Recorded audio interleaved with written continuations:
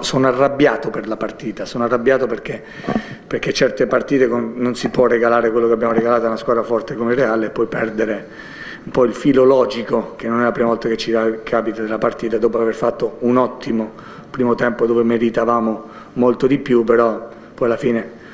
nel calcio il risultato determina tante altre cose. Sicuramente dobbiamo migliorare tanto perché rispetto all'anno scorso abbiamo dato la sensazione in generale di essere meno compatti, meno eh, cinici, meno capaci di reggere la partita con continuità. Questo sì, è un dato di fatto, per questo confermo che in questo momento siamo, non siamo ancora all'altezza di quelli che eravamo stati l'anno scorso.